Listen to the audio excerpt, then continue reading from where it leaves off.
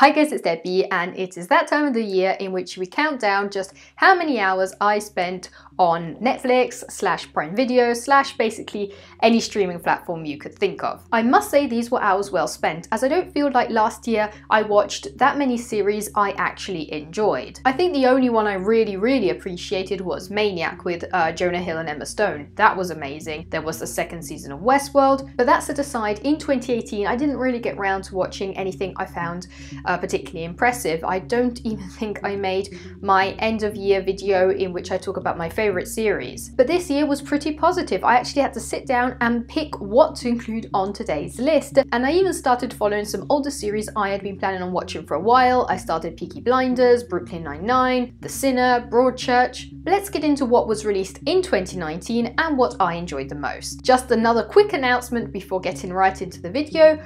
I haven't watched The Mandalorian. Unfortunately, I haven't seen it yet, although I can't wait to watch it, and that could have a lot to do with Baby Yoda. But speaking of today's list, the first series I'd like to cover is actually one that didn't receive that much coverage. It was pretty low key, although I found it incredibly engaging. That series is Unbelievable. Unbelievable is a crime series covering the real story of a team of detectives examining a string of terrible sexual assaults, which turn out really hard to inspect for our detectives. The evidence and trails are very hard to put together. While three or four states away from the centre of the investigation, uh, months if not years earlier, another girl claimed to have been assaulted but nothing in her story seemed to add up to the point that it looks like she might have made everything up. So on the one hand, you have the main part of this crime story, this story of an investigation. It is very dark, very gripping. It goes into all the details and interrogations, the desperate search for the culprit. On the other hand, you have the extreme difficulty of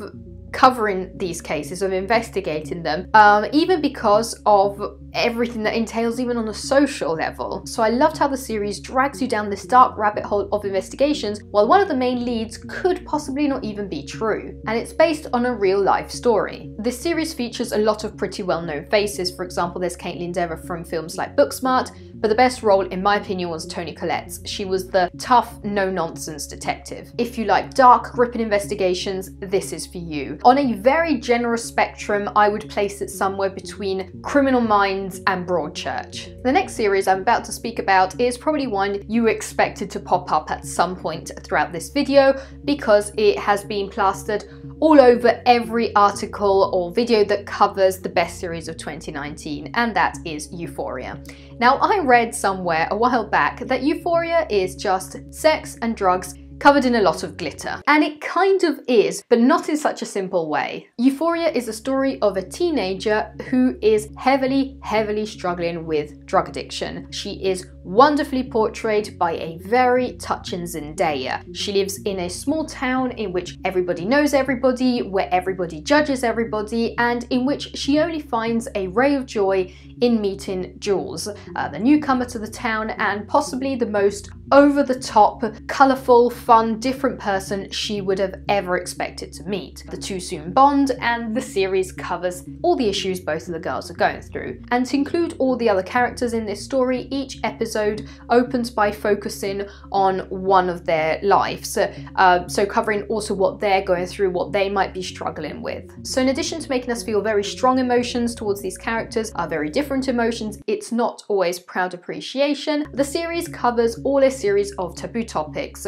So you've got substance abuse, you've got problems in the family, sex, and how sometimes it is just sex, and how sometimes it's definitely not just sex. It covers the complications of love in a very mature approach. You have the problem of drug addiction and how it completely tears families and relationships apart, how hard it is to overcome an addiction, and all of this is with an absolutely amazing cinematography. So, yes, it is sex and drugs and a lot of glitter but not in the way you'd expect it. This is very hard to explain without watching the series. I would highly recommend watching it. Let's just say the creators brought your regular, uh, average high school story to a whole new level. There's actually another teen series, I feel so ancient saying this, I would like to quickly quote, um, and it is Chambers. This is not on today's list because it's one of the best series of the year, it's not one of the best series of any year, but I watched it around the same time of Euphoria and I needed to know whether anybody else has seen this because I just never hear anybody speaking about it. Chambers is this weird but somehow absorbing story. I, I was dragged into it, but the story of a teenager who has a heart transplant and then starts to go through all weird experiences. And it's set in a small town on the outskirts of a desert. It has nothing to do with Euphoria, but I, I thought it was my only chance to see if anybody out there had seen this. But back to our list. The next series uh, on this list is something completely different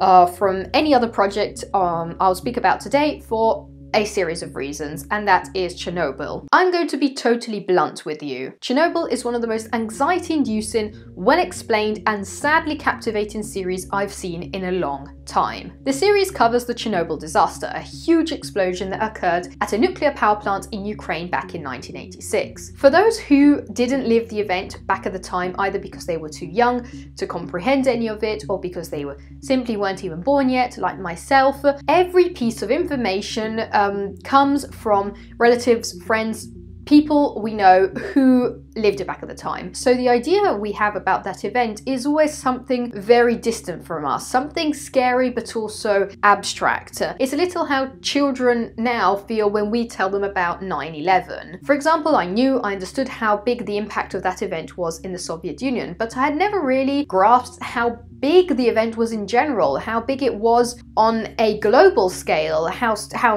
how dangerous it was. I remember when I was a child, my parents, uh, we live in Italy, telling me how uh, they couldn't eat mushrooms, lettuce, tomatoes, and that's how lightly my mind had processed all of this. It wasn't a huge catastrophic event, it was something far away that could have brought radiation over where we were, but it's something in the past. But the Chernobyl series covers everything. It explains everything from the action night of the explosion to many years later, and it covers in very scientific but simple words every single event that happened and the devastating impact on the surrounding area and the threat of how the situation was quickly degenerating into something completely destructive for half of the world. Many scenes were actually recreated based on footage from the 80s, and throughout the whole series, whenever we get close to radiations, we hear the crackling sound of the equipment used to measure that radiation just going up and up as if we are there with the characters. And if that wasn't anxiety inducing enough, if that didn't make us feel a fraction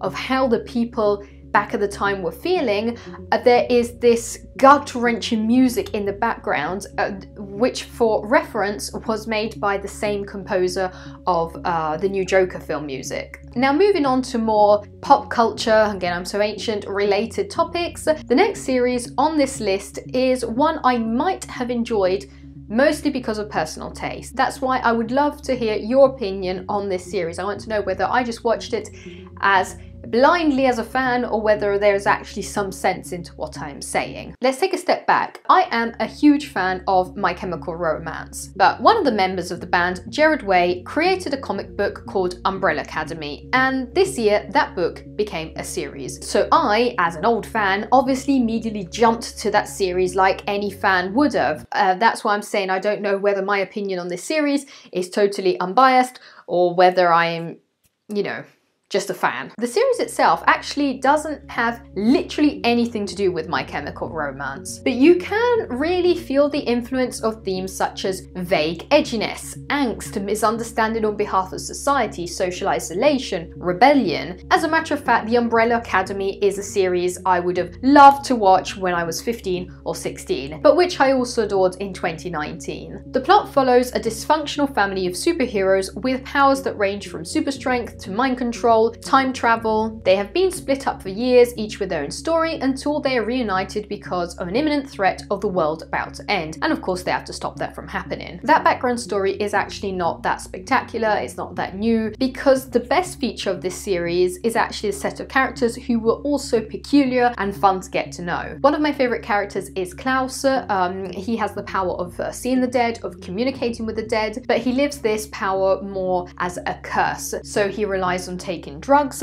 although this situation creates a, a very meaningful storyline, but it is punctuated with hilarious moments, many of which are with another character who is number five. Now, number five looks like your regular kid, but he is actually a full grown adult man stuck in the body of a teenager. So, understandably, he had the best lines. He was uh, the most sarcastic out of all the characters. I don't want to say too much to not spoil the plot, but it is a great series. In my opinion, I want to hear your opinion uh, with the ups and downs of the story. The next series I would like to speak about is the one that generated the most polarized reactions, as some loved it, some hated it, and that is the third season of Stranger Things. So, back in 2017, I loved all but one section of the second season of Stranger Things, as I think most of us did.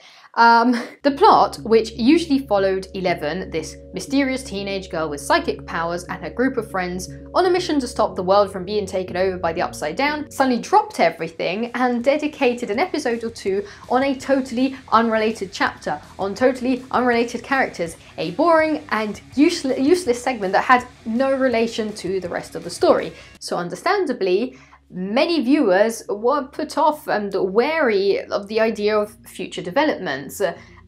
If I have to be totally honest, I wasn't expecting that much from this third season, but I was positively surprised. The mood was very similar to the one of the first first episodes, but knowing all the settings and the characters, we get to go deeper into the story, into the personalities. For example, Eleven starts to open up, they're totally new characters such as Robin, whose friendship with Steve was pure gold. Old roles such as Billy and Hopper and Dustin get huge screen time. So if you were disillusioned after season two, don't worry. Um, it gets better from there. And if you haven't seen Stranger Things at all, that is why I try to stay rather vague in, in the description I gave about the, this third season, I would recommend watching it. It will bring you back to your childhood. It will make you want to call your friends on the landline, not on your phone. Go out on your bikes, go in the basement, take out a board game. And in addition to the fact that it has a really fun, really engaging supernatural storyline, there are some characters you will fall in love with. And with that, we reach the end of today's list. There are some other notable mentions, such as uh, Love, Death, Robots, an anthology series series made up of short stories presented through different genres of animation and which mostly speak about